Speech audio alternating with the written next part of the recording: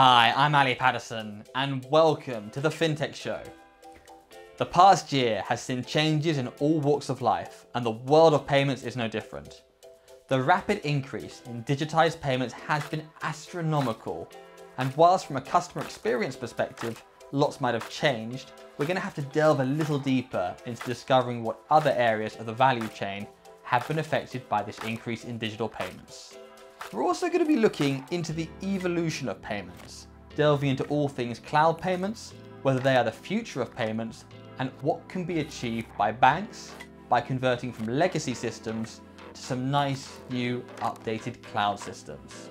To get to the heart of what cloud payments are and what they have to offer, we spoke to payments expert Mike Walters from Form3, the guys providing banks and regulated fintechs alike end-to-end managed payment services through a slick single API. With digital payments in mind, we also spoke to John Lyons from TSB, the retail bank that began, well, over 200 years ago and has a committed workforce serving around 5 million customers. Whilst John might not have been there at the beginning, he's certainly a key figure now as the Director of Operations at TSB. Also joining me is Evelien Witlox from ING, Evelien is the Global Director of Payments at ING, so we'll be able to shed a lot of light on the past, present and future of payments. How has the payments industry changed in the last 12 to 18 months? Has the pandemic increased customer demand when it comes to payment experience? What are some of the new demand of customers in, payments? Mm. what a year it's been. Um, it, it, you know, I, I, was thinking about, you know, today, and it, in some respects, nothing's changed, and in other respects, everything's changed. And the way I kind of tend to think about things is in in layers. And kind of layer one is your central infrastructure. Layer three, if you like, is you know the, at the front end of the value chain, which is our customer experience. And then you've got you know the the the, the banks and the bit in the middle that does all the processing. And really, from a uh, from a central perspective, central infrastructure, yeah, not much has changed. The agenda is the agenda. We all know what we're doing. We, there's a significant program of re, uh, renewal and regeneration covering CHAPS, RTGS, the new payments architecture, becoming ISO compliant. All those good things carry on. So in that respect, nothing's changed. It's a multi-year program. If I jump to the other end of the value chain, the customer end, everything's changed. Massive change in the last year.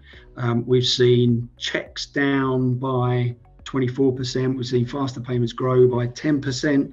At TSB alone, we've seen our digital adoption, you know, skyrocket. You know, now in excess of 90% of all of our customer interactions are digitally. So, you know, it's changed a lot from a from a front end customer um, experience perspective. Um, but you know, for the banks in the middle, what's it meant for us? It, it's meant that we've had to, you know, get used to working remotely, serving our customers from a distance. It's required us to accelerate our digital enablement. You know, we've introduced things like Smart Agent, um, uh, a web chat capability. Um, we've done partnerships with Adobe to try and accelerate our uh, interaction with customers digitally. Um, and so we and we've had to support our customers through some fairly difficult times, as as many of the banks have done. So nothing's changed and everything's changed, is what I would say. Um, increased increased demand digitally, just driven by the fact that people weren't able to travel. It's, very obvious, and we've we've heard a lot of it, you know, from a lot of the commentators across the industry. Particularly growth in mobile versus web. You know, we actually, in some respects, see a decline in web usage as people really get comfortable with using their their mobile um, device. Now, for TSB, we, we, we have a branch capability, we have a branch network. We're very proud of it, and it's part of our core core proposition. Um, so, whilst the digital um, enablement has increased and customers enjoy um, that digital experience, um, that doesn't mean that we are um, leaving behind those customers that still want to operate face to face analog, still work in the analog world. Um, and invariably, these customers are probably more vulnerable in society than, than others. So it's important that we don't all get carried away with this digital agenda uh, and leave behind um, a very important part of our customer base.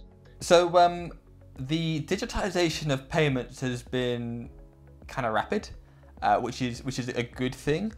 From a consumer point of view, has, has, this sort of highlighted some of the failures of legacy systems, and is is, is the cloud the, the silver bullet the answer?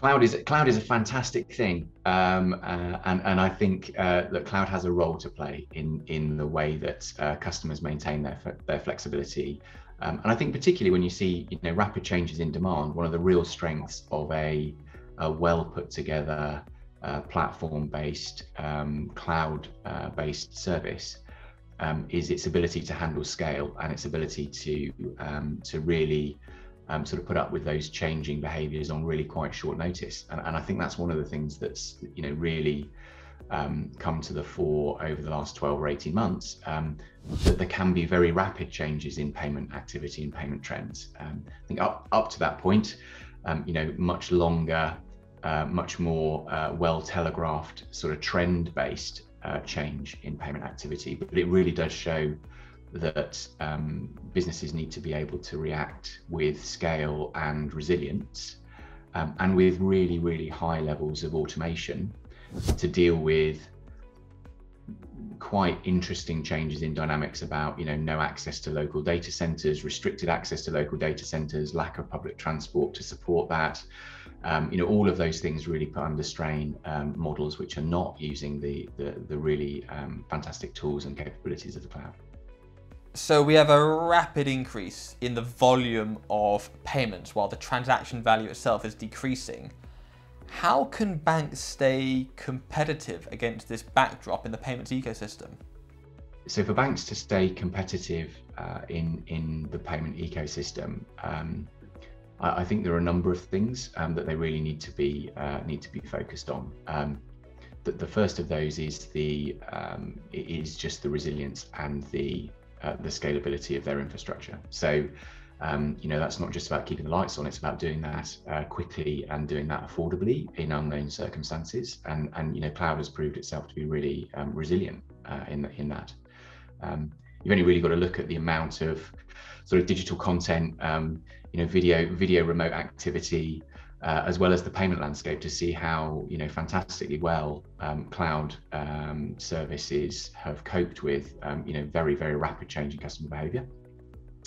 Um, I think though again back to payments, I think it's important um, the banks are not just looking at that scalability piece; they're also looking at how quickly change can be deployed. Um, and again, one of the features of modern technology is the ability to roll out change four, five, six, 10, 15 times a day into those production environments. And that allows for um, uh, taking advantage of opportunity, but it also allows for, for maintenance and, and the ongoing um, delivery of payments. Um, and, and I think all of those things um, also really expose the need for uh, that to be done in a professional and secure way. Um, and, and so that I think also pushes those financial institutions towards um, you know real specialists in their fields, um, both from a technology perspective, but also domain experience in payments specifically. We, we've got to talk about the cloud because I mean that, that's the sprinkle a bit of cloud and everything's fine. Do, do you think that cloud technology is the is the answer, is the silver bullet to solving some of these uh, issues? uh, so working in the cloud is uh, um, uh, is is helping us uh, to be more flexible uh, and also to reduce cost. let's to be let's be honest there, but I don't think cloud in itself it's it's more technology, and with technology it's always what you do with that. So. Um, and yes, I think cloud technology is here, it's here to stay. If you look to ING, we also uh, work with cloud uh, technology, and that is also where we're moving towards. But as I said before, it's much more what you do with that cloud technology. What what uh, solution do you uh, make available uh, via via that technology? So I wouldn't say that this is the answer, but it's part of the answer, and it's it's really an enabler. What are some of the um, improvements that real-time payments offer customers beyond, you know, the payments being faster? Uh, is there an opportunity for things like uh, invoice attachments and such?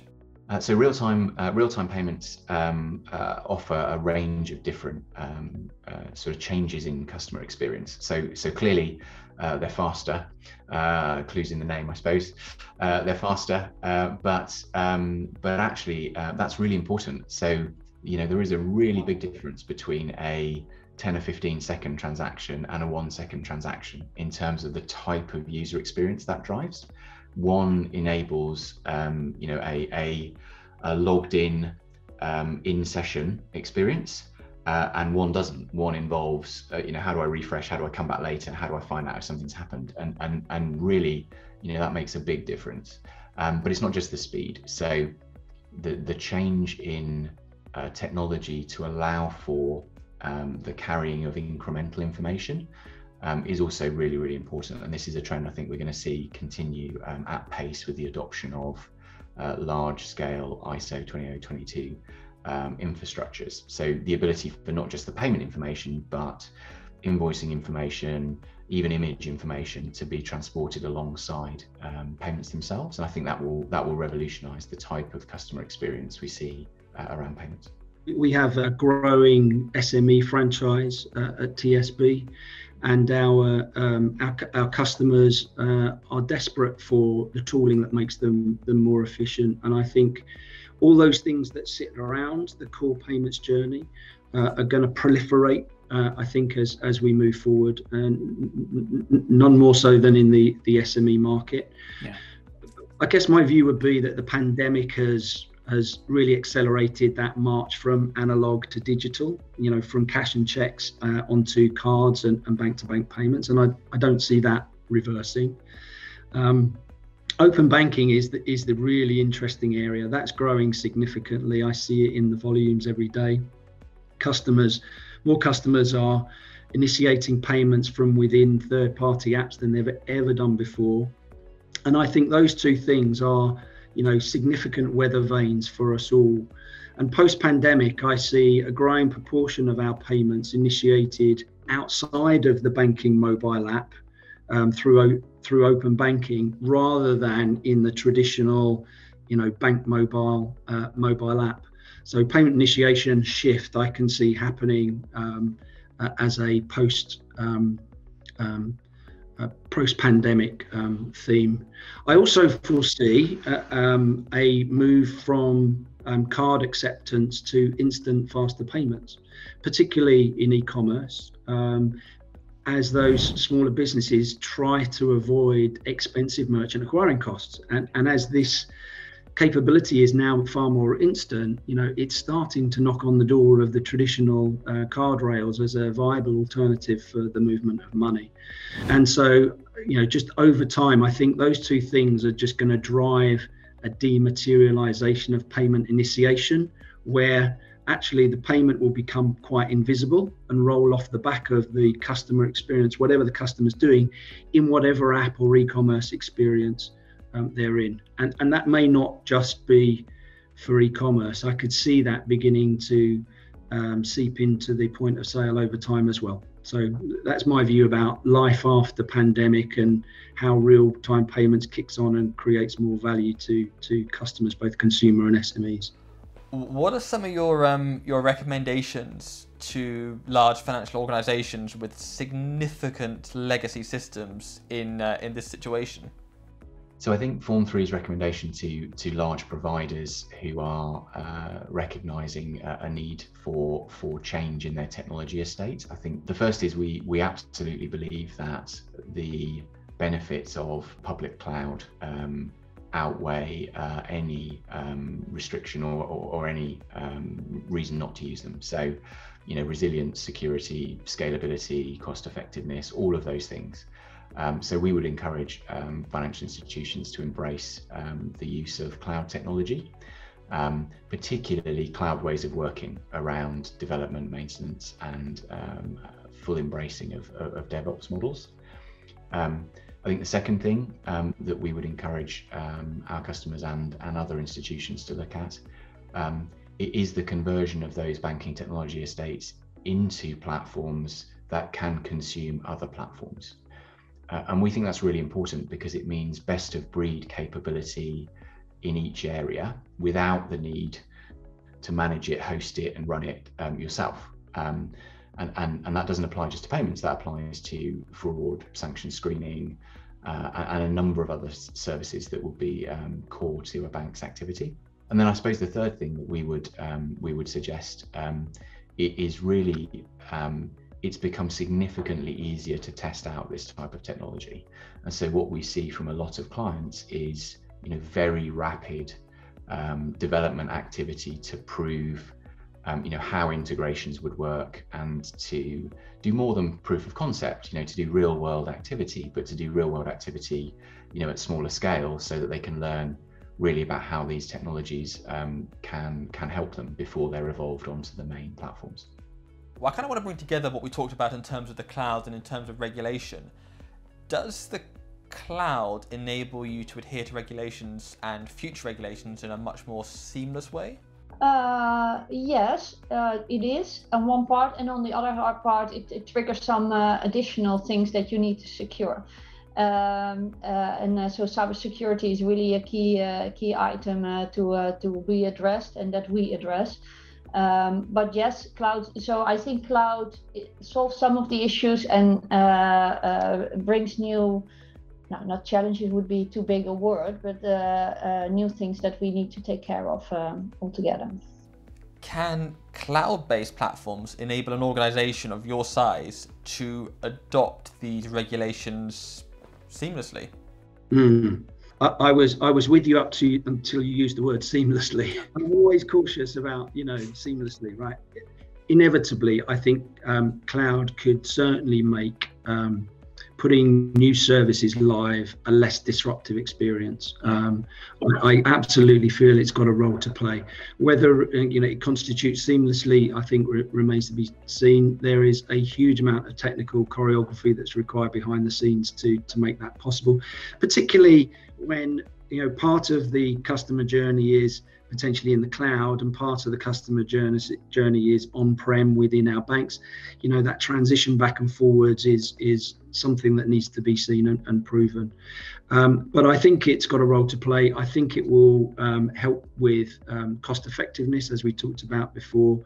And i think the real question for the smaller banks is can they do this themselves do they have the critical mass to do it do they have the wherewithal to do it and do they need a partner to do it with and help them?